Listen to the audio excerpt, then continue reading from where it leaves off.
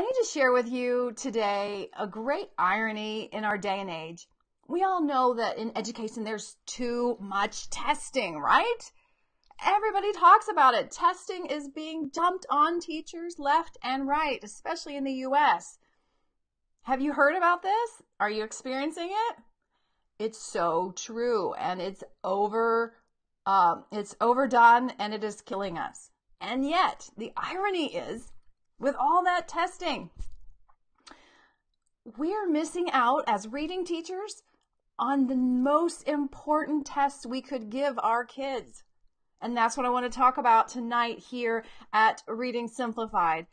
I'm Dr. Marnie Ginsberg, and I want to share with you the number one test you need to give any beginning reader or any struggling reader to find out if they have a problem or what problem they have and to most likely zero in on the solution. I have talked about this here before, Reading Simplified, but many have joined us recently, particularly to learn about the, the activity Switch It in the Level Up Your Reader's Achievement in the Next Five Days challenge, which we had a few weeks back, and you can see um, what people found in um, in their experience of that challenge on this page here at Facebook. So if you've been following us, some of this may be something from that you've heard. It may not be as much of a surprise to you. But for many of us, it will be a big surprise because, like I said, we're being bombarded by tests, but we're not getting the test that we really need to be able to diagnose our kiddos. Again, whether they are beginners or they are struggling readers who are in third grade or who are 13 or they are adults, most likely they're just giving, they're just getting comprehension assessment, right? That's what you get for kids in second grade and up, in year three and up. you get comprehension test outcomes. But that doesn't really tell you what the root of the problem is. So I would love for you to share with me what you, um, what your concerns are about testing in reading? Do you think there's too much? Are you missing some of the puzzle? Some schools are giving tests uh, left and right, but again, they're not getting to the root of the problem. So, do you want to hear what the, the number one test is? Let me talk about it with you soon. But first, let's see who's here. Hey, Debbie, um, and Stella, and Ileana. Welcome. I'm so glad you guys are here. And if you're just popping in, say hello, tell me where you're from. We're going to be talking about the most important test you can give for any beginning reader or any struggling reader. Okay, so what happens most of the time with second graders, third graders, all the way up seventh graders, eighth graders, high schoolers? At the end of the year, we get an end of grade assessment and it's a comprehension test. And if our kids don't score on grade level or they don't get a four or they don't reach a certain percentile or they don't get a three, then we say that they have a comprehension problem. They're not comprehending on grade level. And true enough, they are not able to reach that standard. But is it because they have poor comprehension, poor reasoning of how to think about text, or is there something else going on? And how would you know? Because frankly, all you get is a level how they compare with other kids their age. So it doesn't really tell you what the root of the problem is. And in reading, most of the time, the problem is not primarily comprehension. They may definitely need to be enhanced in their comprehension, and that may need to be a secondary or a tertiary thing to focus on. But most of the time, that's not the real problem. So the testing reveals a, a lacking, but it doesn't re- reveal the true nature of the problem. It's like a doctor who um, is given just one measure. The doctor who's given a, uh, the information of the patient's temperature. So the doctor knows, oh, this patient has a fever. Well, um, just because the patient has a fever doesn't mean that you, the doctor knows what the diagnosis should be, right? It could be an ear infection. It could be strep throat. It could be some advanced autoimmune disease. It could be probably many other things that I don't know enough about to, to, to guess on, right? So that is the same thing as a comprehension test. Um, yes, there's a problem. The patient has a fever. Yes, there's a problem. The student can't read on grade level. But what is the source of the problem? Is the is the fever um, because of a, some sort of virus? Is it because of a bacteria?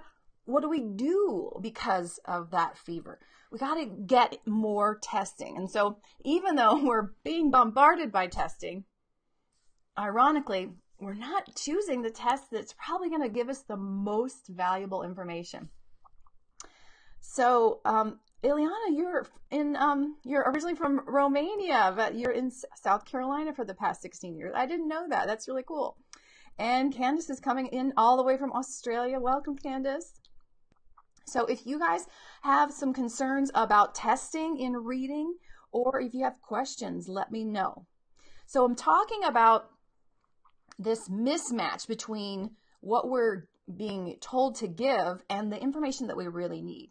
So when we know that a student's reading below grade level, we don't know the source of the problem.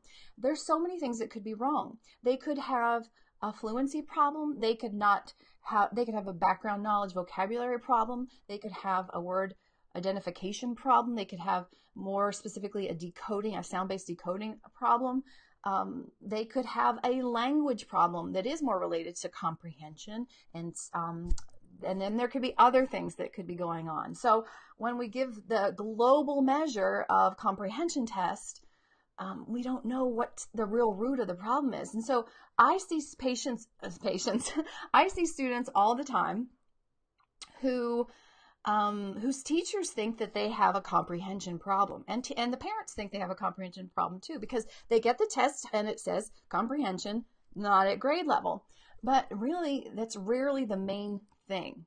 So the main thing for most students after working with kids for 20 years, I see this over and over again. It's 99% of the time true that when kids are behind in reading, they have poor sound based decoding because that is the foundation for building up the ability to read well.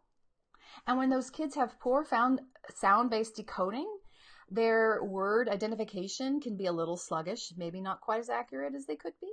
And then the next level of problems beyond that would be then maybe their fluency is a little slower, and a little sluggish than it should be. So you build up all these kind of challenges that after that foundation is weak or crumbly. And by the time they get up to the higher level skill of comprehension with all these things that are weak and crumbly, yes, they have a problem with comprehension. But it's it could be that it's not the real main thing that we need to focus on. But if we go to the root of the problem and focus on what's the true problem, then we can make a big difference for our kids. So, how do you find out if sound based decoding is the main problem? Do you guys know? Especially if you've been here for a while, you probably have heard me talk about it. Maybe many of you already give tests like this. But a lot of teachers are are hamstrung. They don't have this information. So, does anyone have a guess? I know there's a little bit of a time lag. But the answer is let's see if I get the answer. Oh, the answer is to determine if a student has weak sound based decoding, we should give the student a word attack test, um, also known as a nonsense word test or a non word test. Have you seen those before? Have you given them yourself? They're not um, a full measure of what reading consists of. Obviously, they're not real words. And yet, when we give that nonsense word reading measure, we can deduce how poor or strong the foundation is of, of reading, which is truly sound based decoding. Okay, we've got some guesses here. You guys are are awesome. Um, I yes, you are right, um, Heather. It the sound based decoding will be related to phonemic awareness. So you're totally right. As will Leah, letter sounds. Totally right. Those are both going to be implicated in the um, or revealed in the sound based decoding measure or a word attack test. And Ileana, yes, spelling will also reveal a lot of that. You guys are all over it. And Heather is also changing nonsense word fluency. So that is a, um, if you're t- particularly talking about the DIBELS, that would be one type of nonsense word test. And it can be a great marker, particularly for kindergarten and first graders. But as the kids move on, it can be um, insufficient because it's only, I think it's typically just three sounds. And so, if, how do you, if a student can, uh, decode four sound words and multisyllable words, we still don't really know it from that test, but that still is a very good test um, for those early grades. So that's what we need to be giving. When we have beginning readers, so I would test everybody K2 with this, or we have anyone who's struggling with reading, give them a nonsense word test, a word attack test. Okay? Now, I happen to be able to give the Woodcock Johnson reading mastery test. At your schools, you may have other resources like that. But if you don't have access to norm reference standardized tests like that, then I'm going to suggest that you can um, find something that is free. It will not be quite as precise, but it'll still be helpful.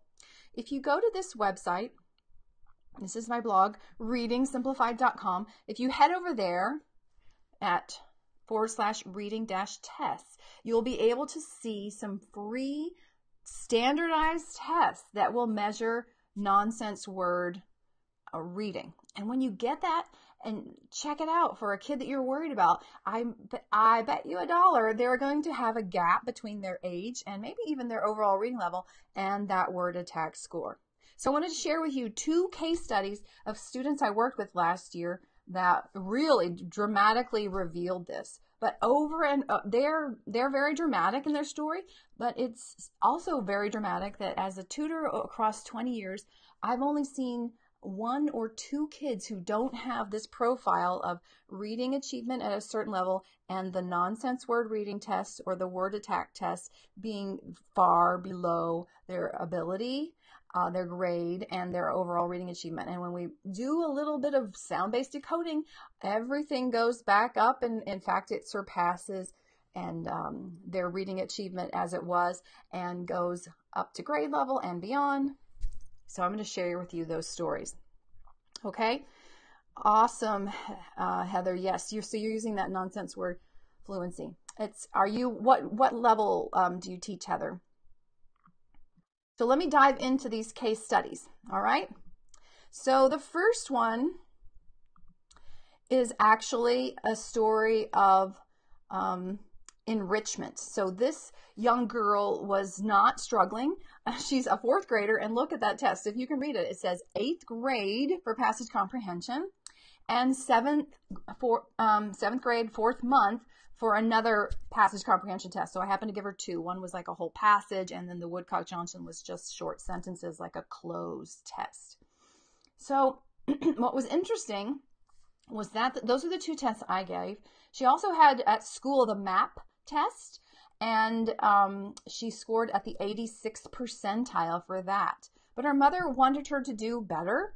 And her mother also realized that her spelling and her writing were weak and that her attention was weak. And the teacher actually thought that in class, when the student was being asked different things about what they were doing, that the student showed poor comprehension. So something was off with this child, even though she was a fourth grade girl functioning way above grade level in her comprehension. But notice how impressive it was that she was comprehending up here, but her word, word identification was like a fourth grader. So she was actually just a couple months below her age uh, for word identification. And then I also gave her the spelling test, and that one is pretty commensurate with her word identification, which is very common.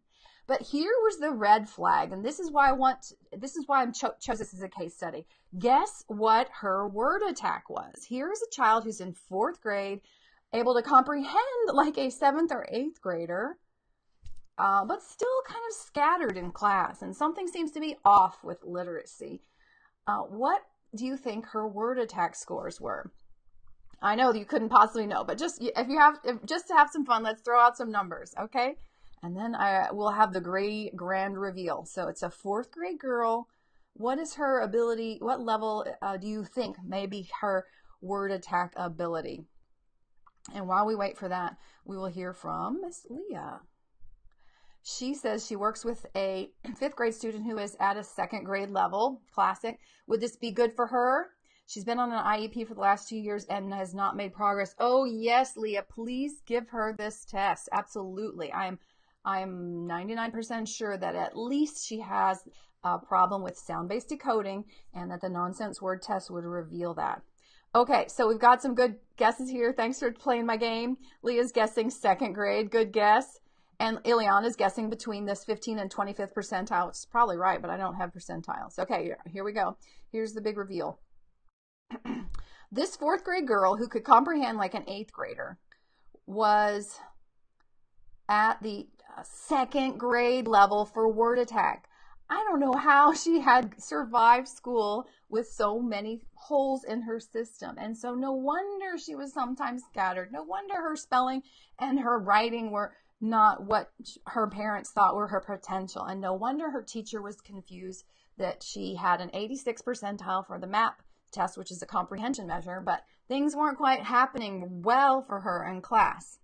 This is so classic. She had been masking her ability, her poor word identification and poor word attack because she has incredible reasoning abilities and she was compensating. But it was a struggle. Okay, so what we did was classic reading simplified with this fourth grade girl. I met with her um, about every other week for six weeks for an hour initially. And I did classic reading simplified activities like switch it, a little bit of read it, and then a lot of sort it. And then she read really challenging text, but I coached her on how to help her read it. So I made sure she blended as she read and um, learned the phonics information, which she had a big gap there. You don't come up with a second grade word attack as a um, middle to end of the year fourth grader and not have some pretty weak phonics knowledge. Okay, so guess what happens when you just give a student fill in the cracks of the sound-based decoding foundation? Okay, let's, sorry for my frog in my throat. we will reveal what happens to this young girl. Okay, so, uh, whoops, sorry about that. Here she is, fourth grade girl with this 2.0 word attack, but we worked together for six weeks. Remember, she's, it's an enrichment case. Her mom's concerned, but this is not a dire situation. So after six hours, I give her a test to see, maybe we don't need to work anymore. And her passage comprehension goes up. Remember, it was already pretty dang high uh, 7.4 for the Woodcock Johnson, and it went up 1.1 grade level after those six hours. And uh, it went up 1.8 grade levels uh, for the word attack. So it was up to grade level after just six hours because that was something that was really missing for her. And reading simplified activities really targeted it precisely. So how does that sound to you guys? Would that be um, a good reason to give this kind of test? What do you think? If you could get a kid who is two or three years behind in word attack up to years in a couple of weeks or several weeks is a little about two months would that be a game changer for that kid. And it was probably a game changer for the classroom teacher because the child wasn't so scatterbrained. And we got a lot better um, reports back from the classroom environment after that. And the student became uh, more interested in writing, and the student's writing became better.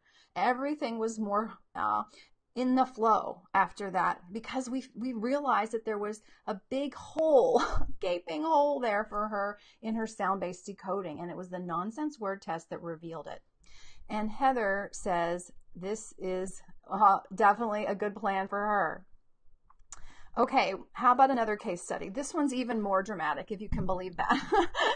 I've got a 15 year old, okay, and this 15 year old boy had been struggling in school his whole life, and his mom had tried to find out uh, what to do to help him, but was never really that successful at figuring what to do out. Finally, she got him tested by a psychologist, an educational psychologist, and the psychologist revealed that he had dyslexia. So he's 15 years old. He was a freshman, and his passage comprehension was like a fifth grader. His word identification was uh, like an eighth grader. So he was at the 37th percentile. So he was compensating pretty well but it was be, it would be a struggle because he was at least one or probably two years behind. And his reading rate was also slow. And again um, let's play the guessing game again. What do you think this young man's word attack was? He got identified as dyslexic. He was functioning like a fifth grader in comprehension but higher in word identification. But he's in high school. He's a freshman. He's struggling probably making c's and b's maybe more c's than b's but not enjoying school. What was his word attack? It's kind of staggering. If you've been in my workshop, three activities a day to keep reading difficulties away, I've already shared this guy's test, uh, a little case study. So I'm going to give a, a, few more seconds. Leah's got a good guess. Sixth grade, right? Because it's two years below the word identification. Uh, that's right. And Debbie's got a good guess too. 4.0. Ileana, third or fourth. All good guesses. That's probably what I would have guessed too. But check this out, ladies, and any gentlemen in the house. 1.8. This 15 year old was functioning like a first grader in the eighth month with his sound based decoding. Talk about a cracked foundation. No wonder he was struggling. And he really needed this information a lot earlier. It was, it's we were able to turn it around, but it's somewhat tragic that it had to be hit in his freshman year that he finally got it turned around because a lot of his identity was already formed as who he was as a student and and his habits and exposure to print. So we did the same thing with him that I did with that fourth grade girl. Lots of switch it with um, very challenging five or six sound words. Read it and sort it. And if you don't know what I'm talking about um, and you're new here to Reading Simplified, welcome uh, go to readingsimplified.com forward slash start dash here to learn more about those activities. We teach just a, a core couple of activities that solve that sound based decoding problem so that kids can recognize words rapidly, they become fluent, and comprehension is not a problem. And that's generally what happens. So this child did that. He got switch it, read it, and a lot of sort it. He did a lot of um, challenging reading with coaching from me and his mom, and he also did rereading because I was concerned about that um, that low average reading rate as well. So I worked with him a little longer, 12 hours. And I don't even I, I tested it and I I've triple checked this score, but he went up 11 grade equivalents on the passage comprehension for the Woodcock Johnson. So he had been functioning like a fifth grader. After the 12 hours, he was functioning like a 16th grader in the ninth month. That's like college. In other words, his brain was super capable of reasoning and understanding language, but with the the total breakdown in his system with all those holes, he wasn't successful. So once we solved this, that shored up that foundation, then comprehension was just a, a, breeze for him. I actually didn't focus much on comprehension other than to ask him, so what was this text about at the end of reading it? We really focused on decoding because word attack was his main problem. And that happens over and over and over again. When I get students who have um, been identified as having learning disabilities or dyslexia or um, are struggling or are behind or frustrated or unmotivated, they have poor word attack. It's based on their poor sound based decoding. We shore that up and everything in the system goes up. And his word attack also went up very significantly. It went up right to grade level. Um, 10 based, well, yeah, it did went just past the grade level because he was a ninth grader and it went to 10.0. So that's why I really want to make, uh, you know, hit this home, have, have it hit home for you today that um, giving the word attack test can be life changing for anyone who's struggling. And it's also still important for those kids who are in K first and second or your your year one, year two, or year three. it's important for them because they can be clipping along just fine, memorizing high frequency words. And the, if the foundation's not strong, it's masked. It can be masked for quite a while. Usually, students come to me in third grade or fourth grade because that foundation was cracked and they can't keep memorizing those words. So I encourage you to consider giving this test or some variation on the tests that are available here at this blog post and see what you'll find. And if you've got kids with low nonsense word reading, low word attack, then zero in on that. Focus on teaching them sound based decoding and activities like switch it, read it, and sort it. Reading challenging texts with the teacher support and then rereading will change that dynamic rapidly. Some kids, uh, on average, I get kids uh, with this profile of low word attack, I get them to grade level, actually beyond grade level, in about 12 hours of instruction on average. Of course, some kids with some more significant learning differences will take longer, but we are not talking about something where kids cannot move for years. These students with when you find out this is their profile they can move they can move pretty quickly if you find these activities like switch it and sort it particularly so debbie pops in with her grandson likes nonsense word switch it because he says it's not as scary because they're not real words awesome he doesn't worry about getting the words wrong that's interesting yes generally i don't recommend teaching nonsense words particularly for young kids because they have plenty of real words to read. But when our kids get older and we want to challenge their phonemic processing, having them do switch it, let's change like a nonsense word strost to stront. That really forces them to pay attention to sounds. It makes them hear um, individual sounds and words and have to pull out the wrong sound and plug in the right sound. That's a flexibility, a mental flexibility that is a hallmark of good word readers. And so Switch It does that in spades. Are there any questions or comments about this? If you've never given this word attack test or you haven't seen this data, it may be kind of hard to believe. It, um, or maybe you're thinking, oh, I've got just the kid. I know who could, uh, I can give this test to tomorrow. What do you, you ladies and gentlemen say? So far, I think it's mostly ladies.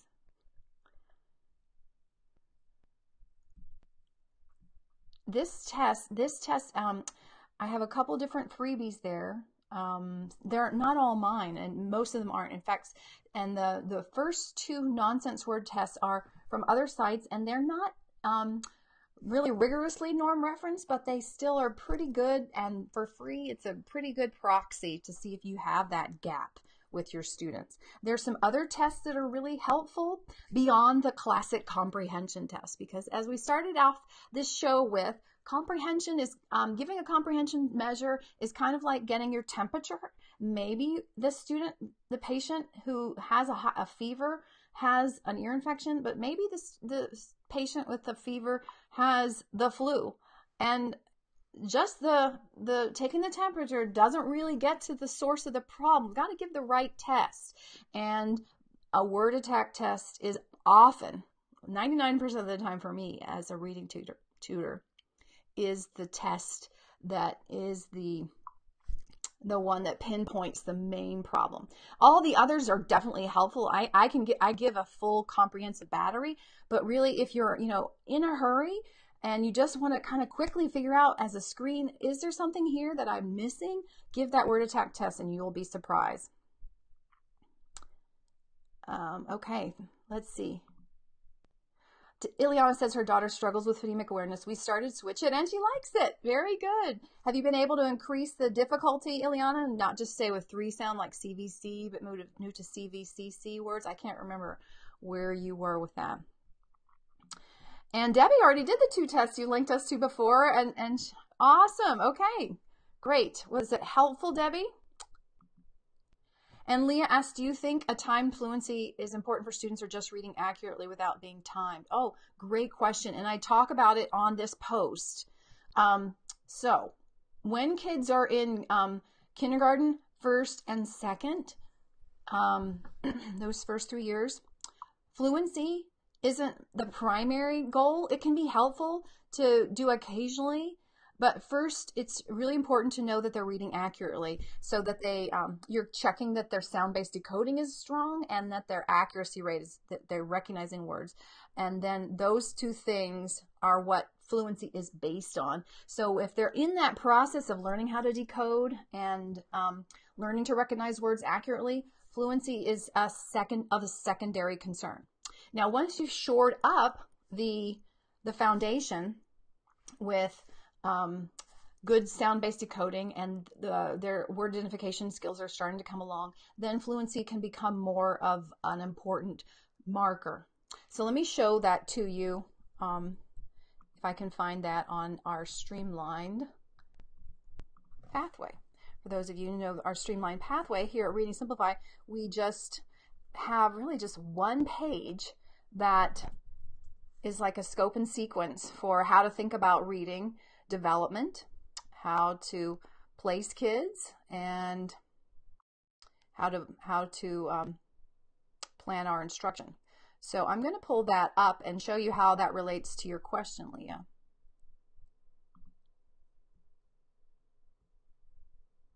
I think I'm going to pull it up.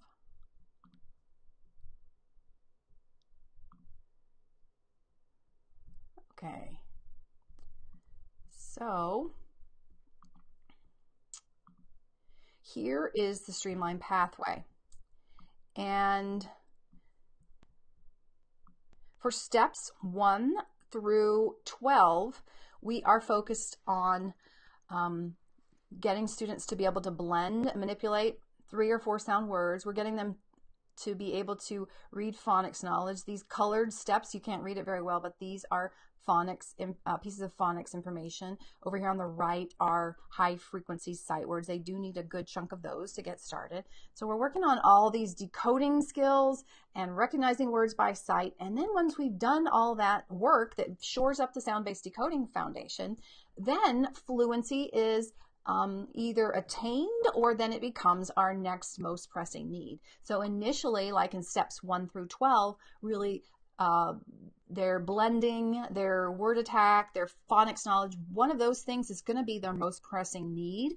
And then once those things have been taught and they're sticking, then fluency often is the next most pressing need. I hope that makes sense. Okay, Ileana, um, it's a good question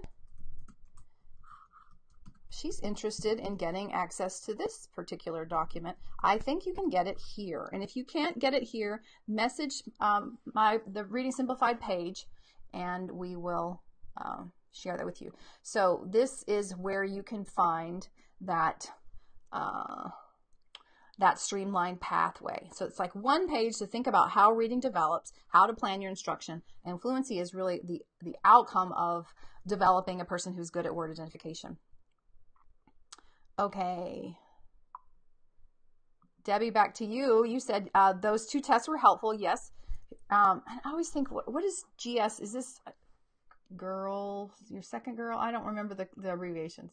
So this child did better on the nonsense, as I said, because he, oh, it's a he, he, grandson. That's what it is. I'm sorry, Debbie, because he wasn't afraid of getting the the word wrong, so there was not much as much guessing. Oh, right, right it was a more of a true picture of his letter sound recognition absolutely because he can't be dependent on having seen it and memorizing it from a visual perspective.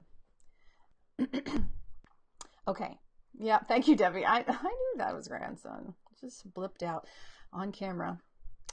Um and Liliana says about her daughter, she did not move up on a reading level for more than six months. Yes, when they don't budge, it's almost inevitably because this, the foundation of the sound symbol um, import uh, the sound symbol foundation is not really strong. So when they can't match sound and symbol really well, and when they hear the word strong, they can't quickly think st or ah. Mm, st, ah. Yeah, they can't get how each of those sounds maps onto particular symbol or phonics uh, uh, spelling. Then um, there, it's like they lack the Velcro in their brain for this stuff to stick. So I definitely think that test will be very helpful for that little lady, Ileana. And uh, let us know if you need some more help getting um, her moving.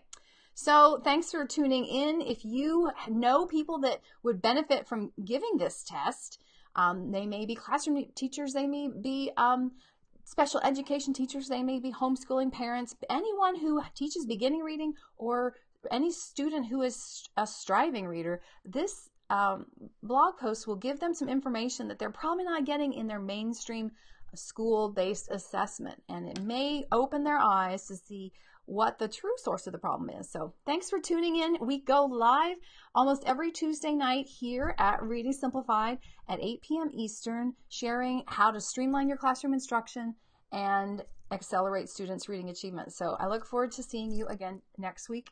Make sure you have turned on your notifications so if when we go live, you will be alerted. Thanks for tuning in.